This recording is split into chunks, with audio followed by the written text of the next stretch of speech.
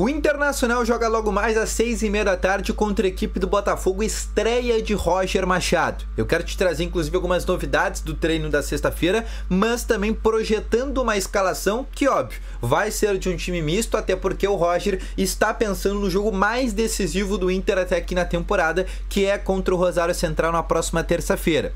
Mas além disso, eu quero te falar sobre Sérgio Rocher, que fez uma baita de uma Copa América pela seleção uruguaia, é um jogador que é valorizado mundialmente a partir de agora e eu quero te trazer algumas sondagens que o Rocher vem recebendo do futebol da Arábia Saudita, onde a gente sabe que paga muito bem, e também da Major League Soccer, que é o campeonato dos Estados Unidos. Então, só antes de começar esse vídeo com novas informações, roda a vinheta.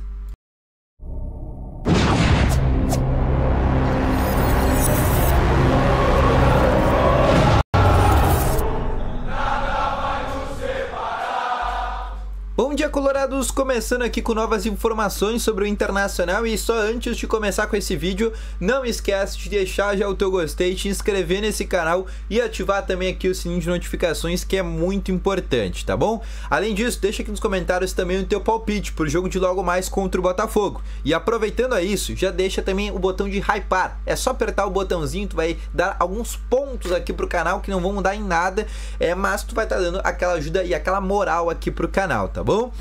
Vamos começando então aqui com as principais informações sobre o Inter. Né? O técnico Roger Machado que ontem pela manhã a logística do Inter inclusive teve que mudar, tá? Todo mundo sabe que em função do Inter não ter o aeroporto Salgado Filho à disposição, o Inter tem que fazer algumas logísticas o tanto quanto inusitadas. E só para vocês terem uma ideia, nos últimos tempos o Inter tava pegando né, voos fretados de canoas. Só que os voos fretados de canoas só funcionam a partir das 10 horas da noite. E se o Inter fosse fazer isso para chegar no Rio de Janeiro, o Inter ia chegar muito tarde no Rio de Janeiro, né? Ia chegar quase ali na virada de sexta agora para sábado. Então, o que, que o Inter fez? Ontem o Inter treinou muito cedo, ali por volta das 8h30, 9h30 da manhã. O Roger Machado fez a última atividade. Depois disso, o Inter fez o almoço ainda em Alvorada e começou o deslocamento para no começo da tarde chegar no Rio de Janeiro. Ou seja, foi realmente algo planejado já de uma certa antecedência para o Inter evitar, por exemplo, uma logística um tanto quanto ruim. Aí tu vai falar, ah, e por que, que o Inter não usou o aeroporto de Caxias? Porque o aeroporto de Caxias seguidamente ele fica indisponível em função de toda a neblina, em função de, de toda a situação climática que acontece em Caxias, de ficar na serra. Então, até para o Inter daqui a pouco não arriscar essa situação, o Inter e depois ter que pegar, por exemplo, um ônibus de 8 horas para ir para Florianópolis e aí pegar um aeroporto, o Inter optou por fazer essa logística em Canoas e, por exemplo, pegar um avião fretado, tá bom? Mas sobre o time que o técnico Roger Machado vai colocar a campo. Como o próprio Roger disse, né, o jogo do Botafogo é um jogo muito importante, né, é um jogo que vai dar aquele up na confiança dos jogadores, mas é um jogo onde também o jogo do Rosário Central está incluído, que é um jogo muito mais decisivo que esse do Botafogo por ser o Campeonato Brasileiro. Todo mundo sabia que a pretensão do Inter no Campeonato Brasileiro era a maior possível, mas como diz né, a, o jargão, o futebol é dinâmico. E o futebol é tão dinâmico que o Inter deixou de ser o Campeonato Brasileiro a prioridade para virar, por exemplo, uma Comebol Sul-Americana. E a partir disso é que o técnico Roger Machado vai poupar alguns jogadores. Entre eles o Ener Valencia, que sequer viaja para o Rio de Janeiro outros atletas como Fernando, Thiago Maia, Arangues, né? O Vitão tem uma lesão muscular, tá fora dos dois jogos, mas o Fabrício Bus também são jogadores que são dúvidas para essa partida contra a equipe é, do Botafogo, tá bom? Além disso, outros atletas como o Bruno Henrique é o jogador com mais partidas do Inter nessa temporada, mas é um atleta já de 33 anos. Também existe a possibilidade de ele ser poupado nesse jogo. E eu quero te trazer, inclusive, a tendência de escalação do Roger para esse jogo. A tendência de escalação que deve ter, tá? Sérgio Rocher no gol. Aí na lateral direita, a presença do Igor Gomes. A dupla com Gabriel Mercado, Robert Chenan. E na lateral esquerda, existe uma dúvida mas a tendência para René, mas não se surpreendam se Alexandre Bernabé faça sua estreia.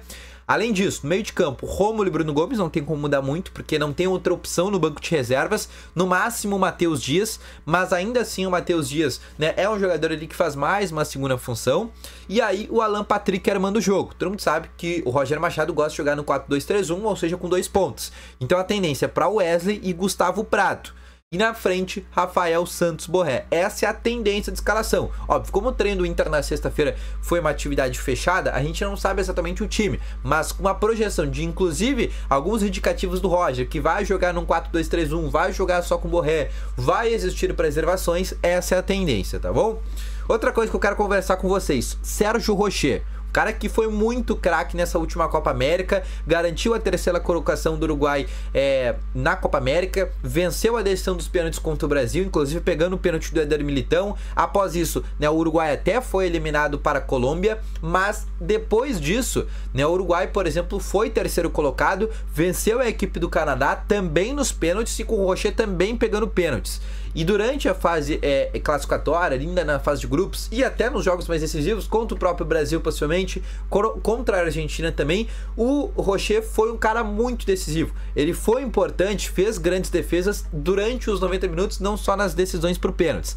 Mas o que eu quero te dizer é que o Rocher é um cara muito valorizado. Desde a Copa do Mundo de 2022, quando ele pegou o pênalti do Cristiano Ronaldo, né, Uruguai não chegou a avançar, por exemplo, às oitavas da Copa do Mundo, mas o Rocher é um jogador valorizado.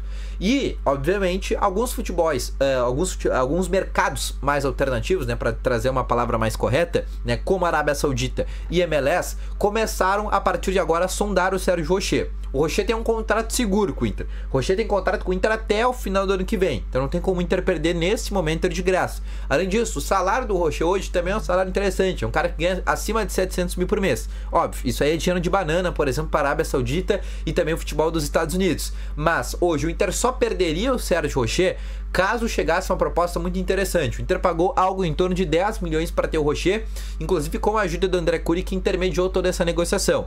Nesse momento, tanto a Arábia Saudita quanto é, o futebol dos Estados Unidos, né, o futebol da Major League Soccer, sim, observaram, sondaram, buscaram valores para saber quanto que seria, por exemplo, para levar o Rocher para esses mercados, mas nesse momento ele não pensa em deixar o internacional. Óbvio, todo mundo, e aí voltando àquela palavra, futebol é dinâmico. Chegaram com uma proposta de 2 milhões por mês para o Rocher, 2 milhões e meio pro Rocher, olha, o Rocher fala, olha, sinto muito, mas olha essa proposta aqui que chegou para mim.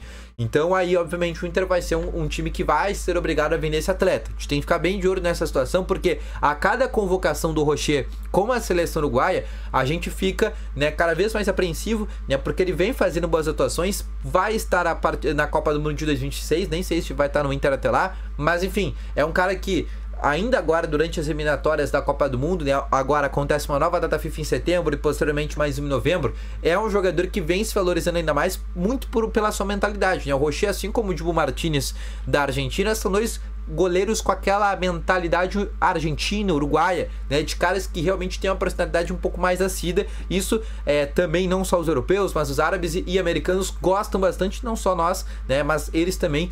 Mas o Rocher, a informação que eu tenho para ti inclusive trazida por um dos intermediários aqui que está no futebol brasileiro, é que ele vem recebendo sondagem desses dois mercados, tá bom?